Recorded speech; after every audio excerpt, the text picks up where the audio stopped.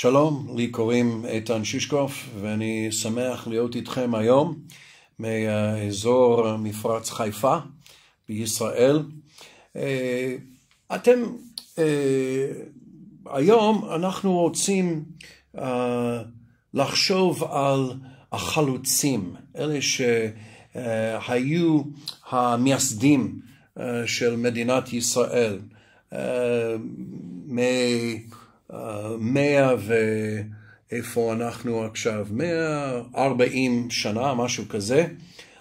אנשים יהודים התחילו לבוא לארץ ישראל מאירופה, ואנחנו יודעים על, על שמות כמו הרצל, ז'בוטינסקי, בן גוריון ועוד הרבה, ש, שהם באו עם רצון להקים uh, מדינת ישראל uh, מחדש.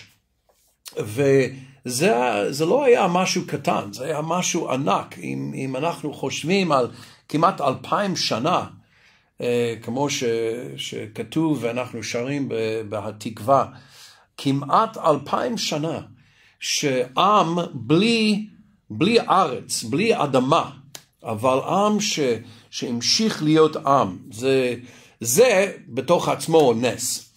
Uh, אבל אני רוצה לקשור את זה היום uh, עם, עם חיינו, כי זה, זה טוב ונפלא שהיו חלוצים, אבל, אבל יש לנו גם uh, צורך, ואני מרגיש שיש לנו אפילו באמת קריאה חשובה. להיות חלוצים היום. אה, זה בא לי אה, בזמן שלי בארץ ישראל, באתי, אה, באתי ארצה לפני יותר מ-20 שנה, ולפני בערך 15 שנים התחלתי באמת לראות את, ה, את הנוער, את הבחורים, בחורות בארץ, במיוחד אלה שהאמינו בישוע כמשיח. וחשבתי, איך אנחנו יכולים לפתח תנועה משיחית פה בארץ ישראל עם, אה, עם מספיק השפעה, מספיק יכולת uh, כדי באמת uh, לשנות את, ה, את המבט, את, ה, את הדעה של ישראל על ישוע. והתחלתי להרגיש שאנחנו חייבים להשקיע בנוער שלנו, כי הם יהיו החלוצים הרוחניים של כל, ה, כל התנועה, כל השינוי הזה. אם אנחנו חושבים אה, על הרקע בכתבי הקודש, אנחנו חושבים על ל"ו אה, של יחזקאל, פרק ל"ו ביחזקאל אה, ול"ז, אנחנו יודעים שזה האזור שבו אלוהים דיבר דרך יחזקאל על ה... העצמות היבשים ועל כל, ה, כל החזון הזה שהחיים, ההתעוררות של ישראל, שישראל אה, תקום מהמתים שלב שלב. השלב הראשון זה פיזי, אז אני רואה את זה כהקמת מדינת ישראל, המקום, העם, אה, הבניינים, כבישים, הממשלה, כל הדברים הפיזיים, צבא uh, וכולי, תחבורה, הכל הכל. מה שקרה ב-65 שנים uh, uh, שכבר עברו, ואפילו יותר מזה, אבל מ-48, שנת 48, 65 שנים. אבל, אבל זה רק שלב הראשון, וכפי יחזקאל וכפי המטרה של אלוהים, אנחנו גם חייבים לקום באופן רוחני, ואם אין התעוררות רוחנית, אז זה רק חלק מה, מכל התהליך. אז אם, uh, אם אלוהים uh, היה צריך חלוצים uh, לשלב הראשון, למה הוא לא צריך חלוצים לשלב השני? אז זה מה שאני אני טוען ש, שאלוהים עכשיו מחפש חלוצים רוחניים, ולא רק בישראל, אלא מסביב העולם. כי אם שמתם לב, העולם עכשיו במשבר.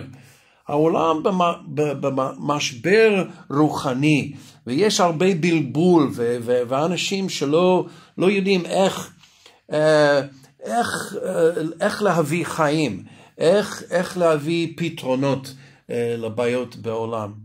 אבל אלוהים מחפש חלוצים רוחניים, אנשים עם אומץ לב, אנשים עם, עם לב uh, לעשות משהו חדש, אנשים עם לב לקהילה, לב לעשות משהו ביחד.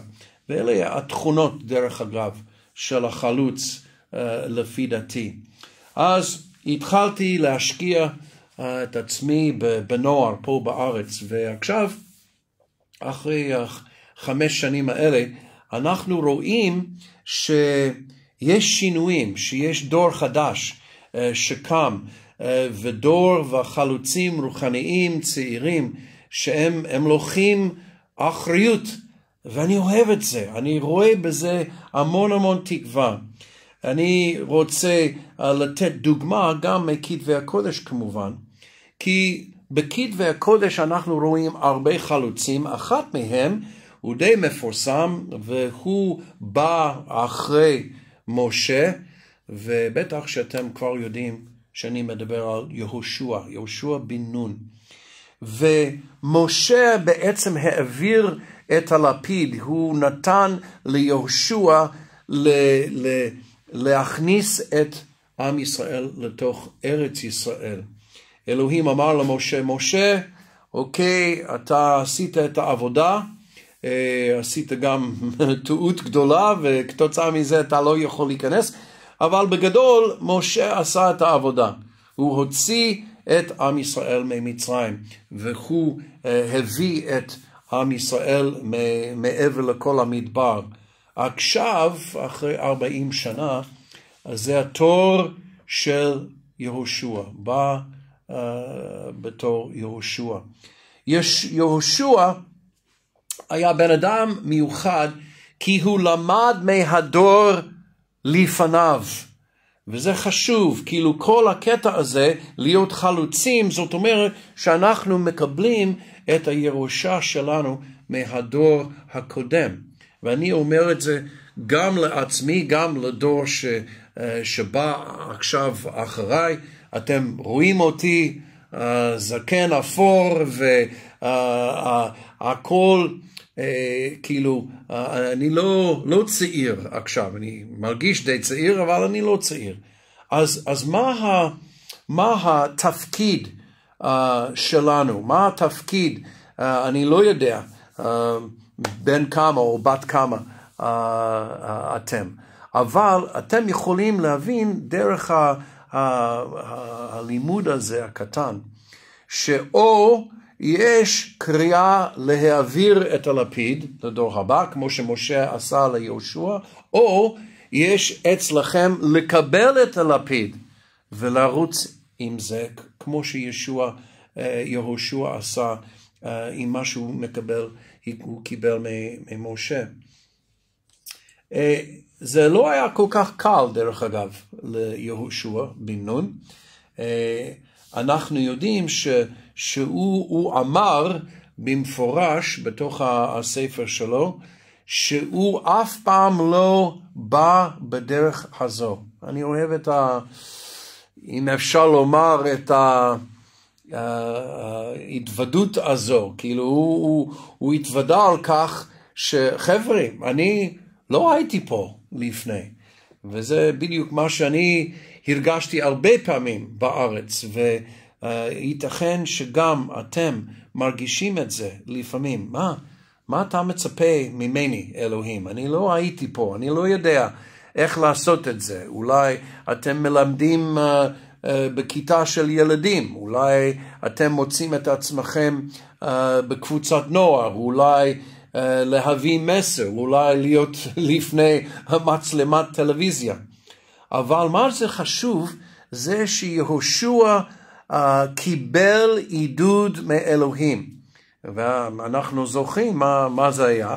כאילו בהתחלת כל הספר של יהושע, uh, אלוהים אמר לו uh, לא לפחד. הוא אמר, אני אהיה איתך כמו שהייתי עם משה.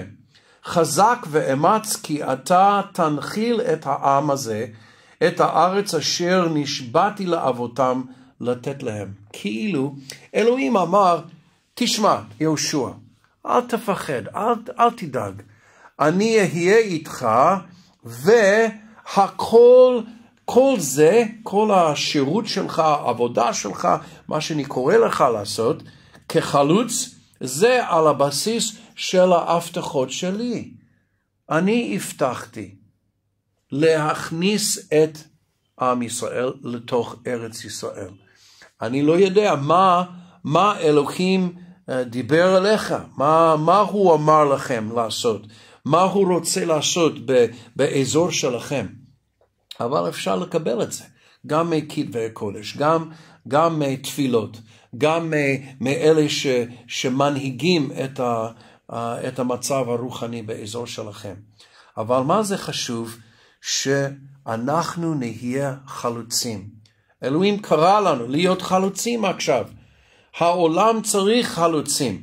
אז בהיסטוריה של עם ישראל, אלוהים בחר ביהושע כדי להביא את העם לתוך המקום כנען, אה, שזה היה יחסית משהו חדש, כן? אה, אה, אבותינו, הם, הם ידעו על זה, אברהם, יצחק ויעקב, אבל זה, זה כבר היה מאות שנים, הרבה, הרבה, הרבה זמן. והם לא ידעו. אולי אתם מוצאים את עצמכם במצב חדש, אתם לא יודעים בדיוק מה לעשות. אז זה הזמן אה, להוריד את, ה, את, ה, את הסנדלים, בדיוק מה שקרה ליהושע. הוא, הוא, הוא, הוא עמד יום אחד לפני שהם אה, הכניסו, נכנסו לתוך ארץ ישראל, ומי הופיע לו? חוץ מ... שר הצבאות, אדוני צבאות, ואנחנו בתור אלה ש, שמאמינים בברית החדשה ואנחנו רואים ש, שהנה ישוע הוא בעצם מלאך אדוני, אלוהים בתוך בשר, ואז uh, הרבה שנים לפני הוא הופיע ליהושע והוא אמר ליהושע, תוריד את, ה, את הסנדלים uh, מרגליך. ו, וזה בדיוק אותו דבר, מה שאלוהים אמר למשה אה, דרך הסנה שבער. אז אנחנו רואים שיש עוד פעם העניין הזה של, של ענווה, מה זה להוריד את, ה, את הנעליים, את הסנדלים? במדבר, אני גרתי במדבר, גרתי במדבר אה, לפני הרבה שנים בארצות הברית, ואני לא, לא רציתי להוריד את הנעליים. למה? כי היו קוצים, והקוצים האלה, מה זה... כאב לנו, חבל על הזמן. אז זה לא, זה לא הזמן להוריד את הנעליים. אבל אלוהים אמר, תפתח בי, אתה יכול להאמין בי. אני קורא לך להיות חלוץ על ידיי, ואני אראה לך מה להגיד ומה לעשות.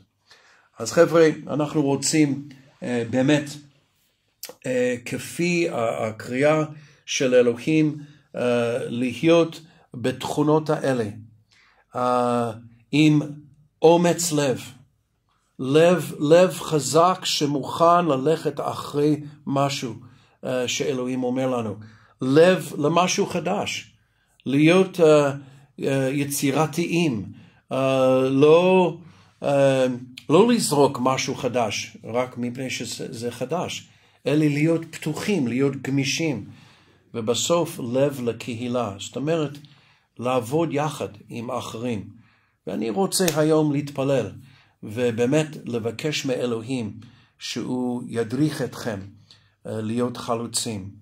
אבא, אני מודה לך שאתה קראת לנו להיות חלוצים, ולא רק הציוניסטים, אה, שהם הקימו את מדינת ישראל, אה, היו צריכים להיות אה, חלוצים, אלא גם אנחנו, שאנחנו באים אחריהם כדי להיות חלוצים רוחניים.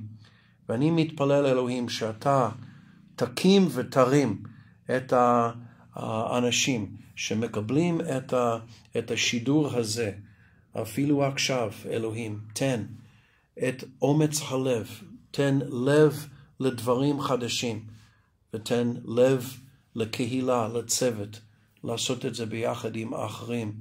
אדוני, אנחנו צריכים חלוצים היום.